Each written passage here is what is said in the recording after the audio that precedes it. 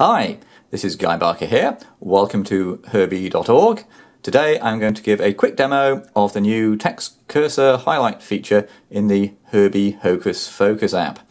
Okay, so we have the Herbi HocusFocus app on the left of the screen and I can tab through it and as I tab through the app I see the uh, thing with keyboard focus get highlighted with a uh, configurable highlight.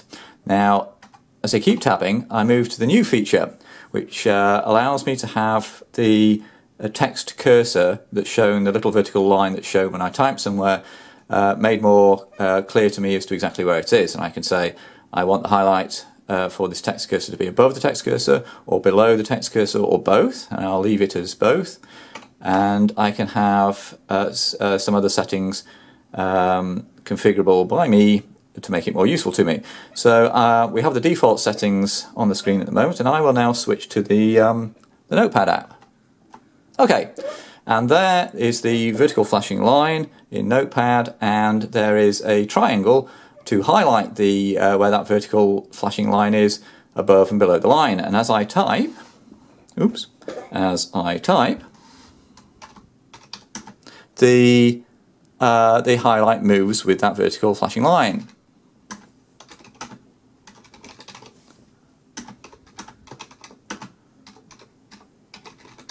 Okay, and I, as I use the arrow keys to move through the text, the highlight moves with it. I'll jump word by word there. Okay, now say I want to change how that highlight appears. So I'll switch back to the Herbi HocusFocus app and say, okay, colour, I want to change the colour. So unfortunately this colour picker is not keyboard accessible, so I either need to use the mouse or touch to change this. So I'll pick some purple colour, okay. Okay, then back in the app, Herbi HocusFocus app, I say, I will say I want it to be, those triangles to be bigger, and I want, uh, so I'll switch back to the app now so we can see what difference that made. Okay, indeed, the colour of those highlights have changed and the uh, they are indeed bigger. So I'll switch back to the app and say I want the those triangles to be further away from the uh, the vertical flashing line. So I'll increase what I've called the margin make that 30 and I'll switch back to Notepad. Yep, and indeed they are further away.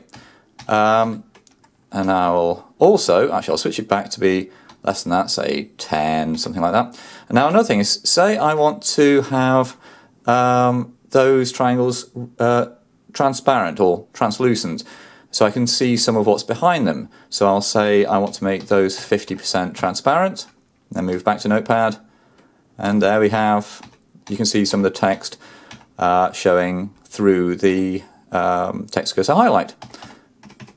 And I could in fact make it very translucent indeed, but I won't do that because it's barely visible on the screen now. So I'll switch it back to 50%. There we go. Uh, and another thing uh, you can do is, I'll switch back to the app, is have a hotkey uh, to say, I want the display of the text cursor highlight to be temporarily uh, turned off. Uh, so I will say I want the function 9 key, the F9 key, to uh, temporarily turn that uh, highlight off. So I'll switch back to the app, uh, to Notepad, sorry. Okay, and I will move through and say I want to now turn the highlight off, so I'll press the F9 key. And indeed, the highlight has gone away and when I want it back I'll hit the F9 key again and it comes back. Okay, so I will now change uh, the highlight again to be a little less transparent. Oops, a little less transparent. Make the margin a bit smaller and make it the, the whole thing, the whole highlight a bit smaller. I'll switch back to Notepad and there we go. Now, so that's Notepad. Say I want to um, have the highlight shown in, say I want to use WordPad. So I will bring up WordPad and the actual um, highlight does work in the Windows Run dialog. Okay, and there is WordPad and say I want to make the font bigger so I'll quickly just um, move through the uh, ribbon in WordPad and in fact the text cursor highlight does appear in the in uh, edit fields like the um, uh, font size um, edit field here. Excuse me. Uh, and so I'll make that, say, 28. Okay, and now as I type in WordPad,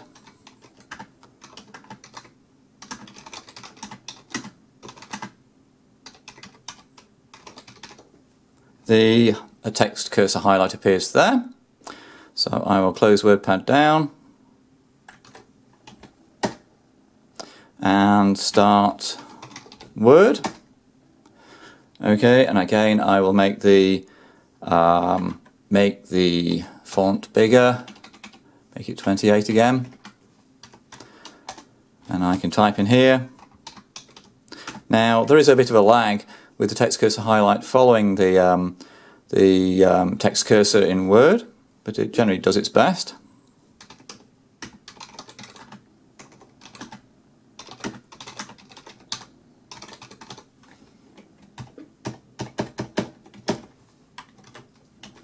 And here I have opened up Outlook.com where I could compose a new email and I can type in the subject field and have the text cursor followed and I can then tab into the um, message area and type in there as well and so I can have the text cursor followed in um, a mail message in uh, Outlook.com. So there we have the new text cursor highlight feature of the Herbi HocusFocus app. Now as it happens there are actually a few places where the new feature doesn't really work as expected. So in some apps the visuals shown on the screen for the highlights might not appear as they should or in some other apps it, the new feature can't track the movement of the uh, text cursor.